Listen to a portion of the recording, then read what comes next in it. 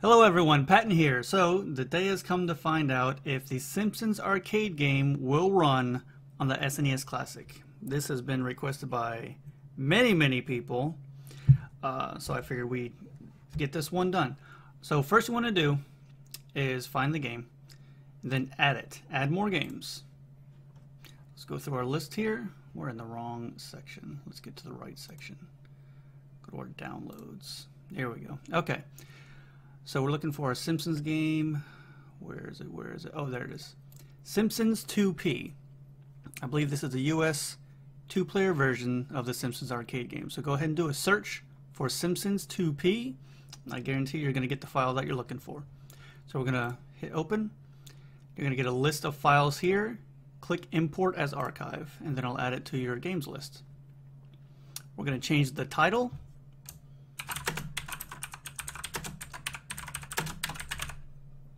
Simpsons arcade game. When you change the title, it helps when you're looking for the box art when you go to Google it. And there we go, we got our box art. so now the core you want to use is going to be FBA 2012. I'm going to provide a link in the description to the cores required. Once again, that's FBA 2012. You go to install extra modules. You're going to drag it over here and you'll see it right here. FBA 2012 is going to look like this. You just hit the check mark, hit OK to install.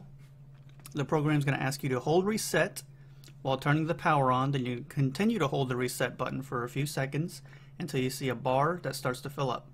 Once it fills up, that means that your custom module has been flashed over to the Super Nintendo and you can play the games.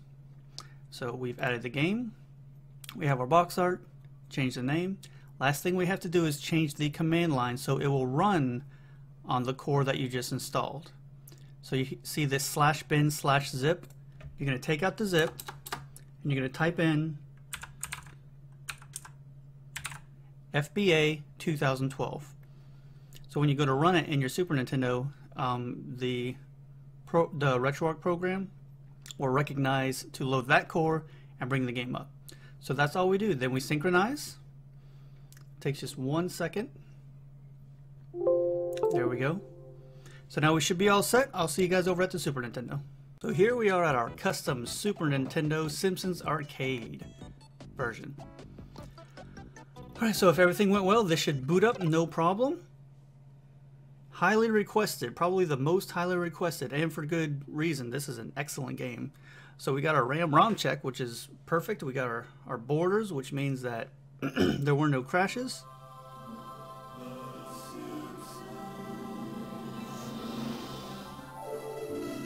Oh man.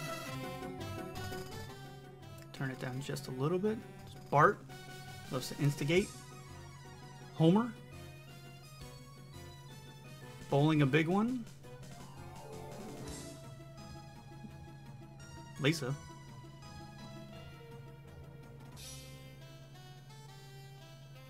wailing on her saxophone. She does do that. Marge and Maggie. Making tasty gelatin dessert. Or gelatin. Konami, yes. Let's hit select. Get some quarters in there. Now the screen looks a little cut off. I'm actually trying to point to it, but you know, camera. Um, you can fix that. Let's see if we can fix that real quick. If you hit start and select, you go into your RetroArch menu, and this is where you can do some like internal things. So if you go to settings, then video, you can do aspect ratio, custom, you can change that to different sizes. See, this will fit.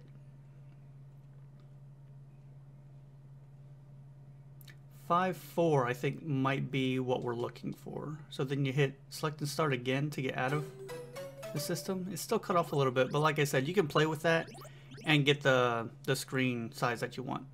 We're going to be Bart because it's Bart and into the Simpsons game. So the plot is Smithers, for some reason, was trying to steal this diamond.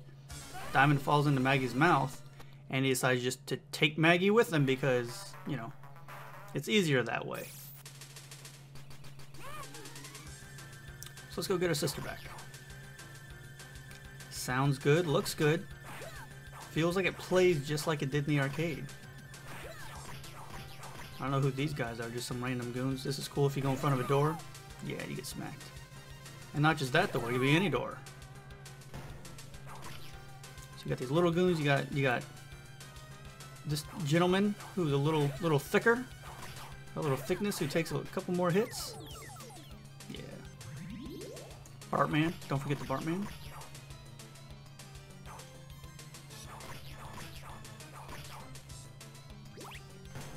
There was a version uh, that came out where it was four players. I mean, you can play this four players in the arcade. Oh, now we got some big dudes trench coats who don't actually do anything. Um, and you, you were stuck with, if you were on the, the first player, you put your quarter in the first player's spot, you had to be that character. You weren't allowed to change your character. So that's why I picked the two player version because it allows you to pick your character at a four because you know that makes sense. If you have a four-player version, then you're just stuck with whoever. Two-player though, you know, out of four players, it, it allows you to pick who you want. Oh, I'll take that burger. Let's go for it, man. I don't know who this guy is. Was he even in the show? Was he a boxer or something? Yeah, I remember him being not not that easy in the arcade. He was a oh, he was a quarter muncher. Let's take care of him real quick. Maybe not as quick as we hope. Because he, he counters you a lot, man. He gets on you. Oh, no. We need to continue. Speaking with Homer. Super Homer. Homer's a big guy. He used to box, too. He was a pretty good boxer.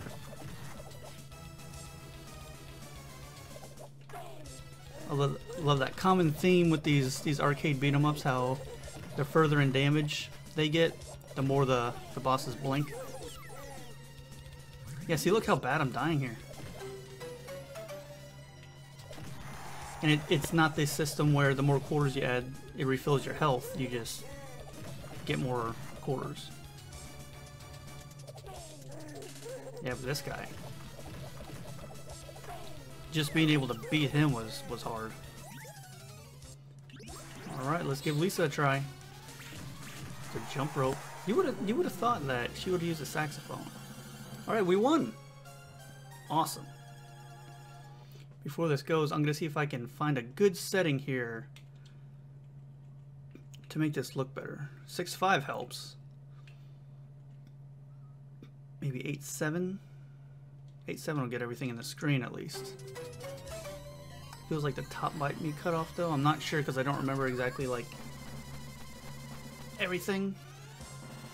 Bonus stage. This was always fun in the arcade, smashing the buttons. Oh yeah. Oh yeah, I think we got this. Oh yeah, it's like it didn't pop. I remember, didn't it used to pop or float away or something? Maybe that happens after. There we go. I did remember that. I'm not getting too old where I'm forgetting everything. Krusty Land. Save that for next time. Okay, so there you go. Simpsons, highly requested game runs very well on the on the Super Nintendo Classic. Uh, FBA 2012 core. Make sure you get that Simpsons two-player. Uh, I believe it was a U.S. version. Could be World. I don't remember. Um, try both of them.